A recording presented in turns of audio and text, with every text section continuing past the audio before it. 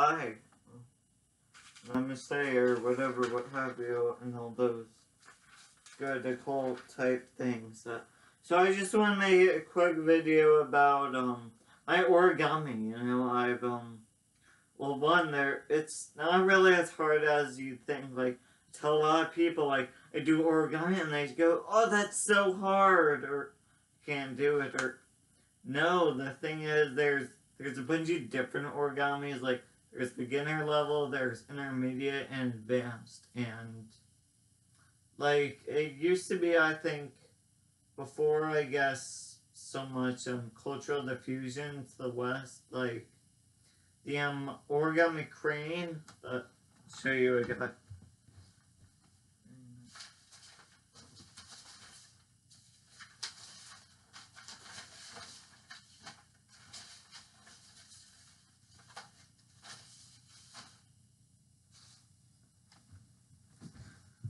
Yeah, crane.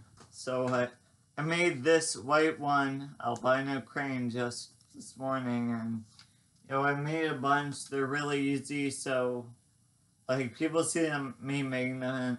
I mean, they call them a swan, which like it wasn't white. It was I was making a pink one, and they call it a swan. I don't know why, because I mean it's a crane, but like our cranes and swans, like I don't know.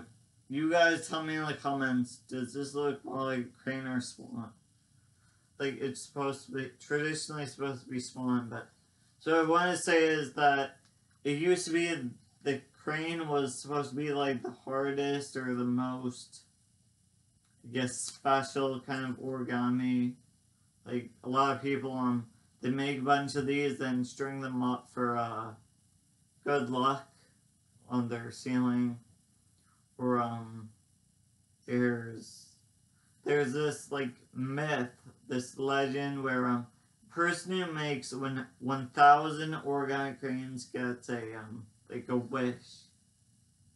And uh, I don't know if that's true or not, so I think I've done a thousand. Um yeah, it used to be that was the hardest, but now there's there's like Origami Millennium Falcon, Origami X-Wing, Origami Five Point Star, Origami Ninja Star, Origami Shuriken, I think it is. Um, there's, I don't know, a bunch of different, or like, like Origami Swallowtail Butterfly. Like, I can do a butterfly, just not swallowtail butterfly.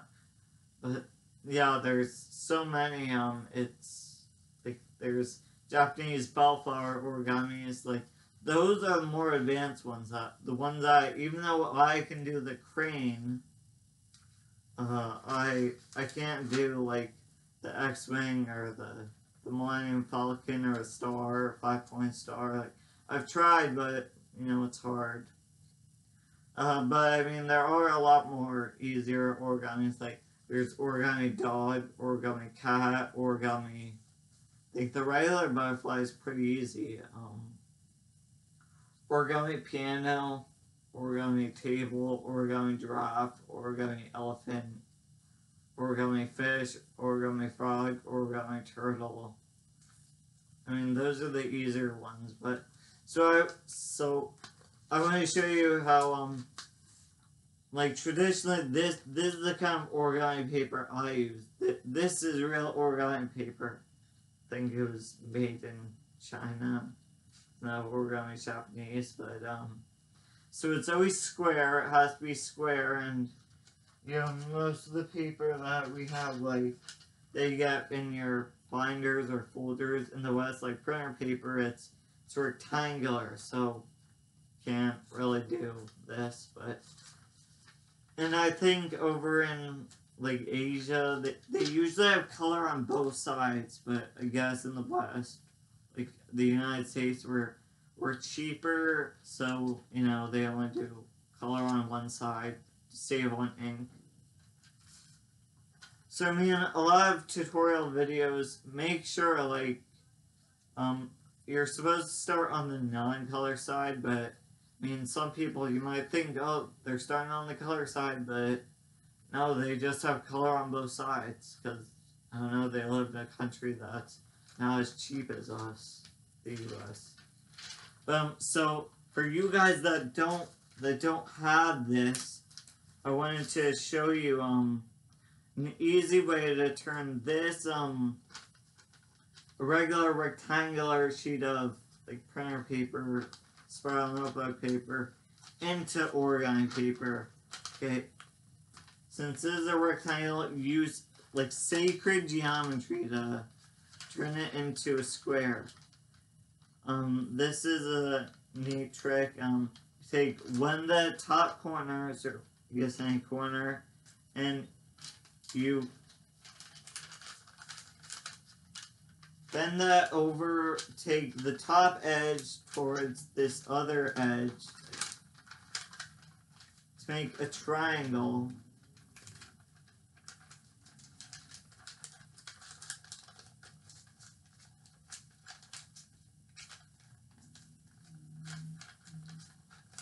And so bring it over until the top touches the other edge. Then you can increase this. Um, then see there's a triangle, top part. Then so you got two triangles. Fold over and but this bottom part, this is excess. This is the, what makes the square or triangle. So when I fold this like it along the bottom of that triangle. So this remaining part you're um you're, you're getting rid of. And you can just um cut the excess off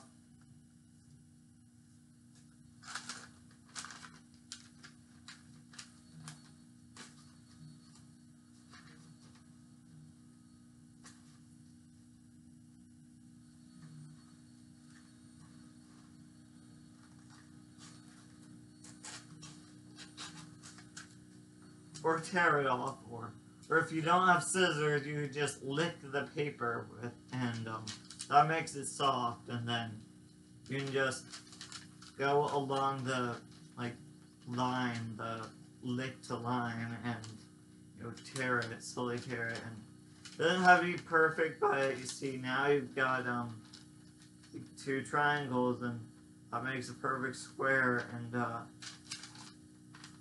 guess I'll show you one really easy origami right now since I have this.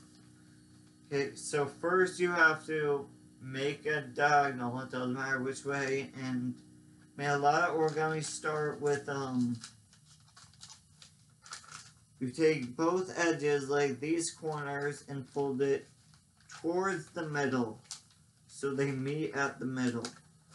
And as you start to get into origami, a lot of a of the stuff will just say that meets at the center, fold it so it meets at the center. And you do that on both both sides.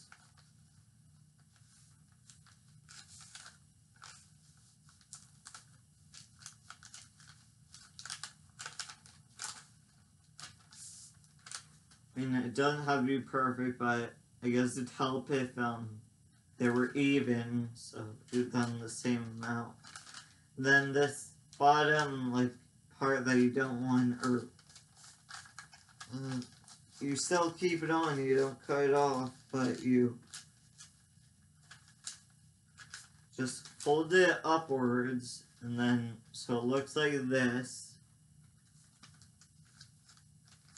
Then the bottom part, you also, you fold that up again, so there is a little of the top triangle showing.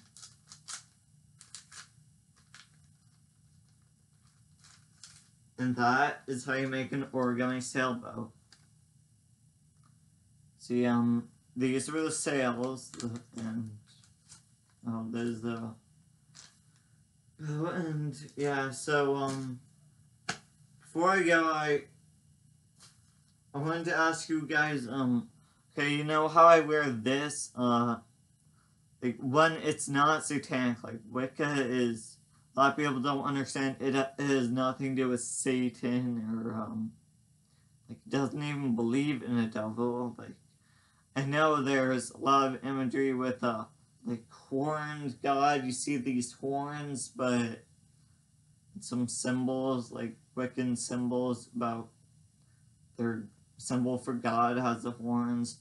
But no, that doesn't have to do with like any oh no, devil or whatever. That's um the horns are like signs of fertility or you know it it takes on how the um like don't deer and reindeer and like moose in mating season they grow they grow their horns or like you know the, the males when they're born they don't have horns but then they get horns so and something else about horns um don't know they're just like I don't know decorative like like I like to wear a glove around, and people ask me, "Why are you wearing gloves? Like white gloves?" And like, shouldn't because I like it be enough of an answer? So, and I also want to tell you, thing about the colors is also kind of important. You can see the crystals on this, um, and the points connected, um the the green represents wood, or at least on this one, they kind of have the colors differently how it's supposed to be. But um, so wood points to earth. I guess earth is purple in this one for whatever reason. So wood destroys earth because like you know a tree of the root systems can break through dirt and they break through rocks and yeah. And earth destroys um fire because what just does, I guess. You know, fire becomes um like ashes. And uh fire um destroys water because, you know, boiling it evaporates it. Water destroys the metal because um water rusts metal like if you leave metal thing in the rain, it'll rust. Most likely. And then metal, represented by the white, destroys um wood because, you know, an axe, they chop it with an axe. And, okay, that's how that works. And there's also correspond to organs. So I think white is lungs, like metal.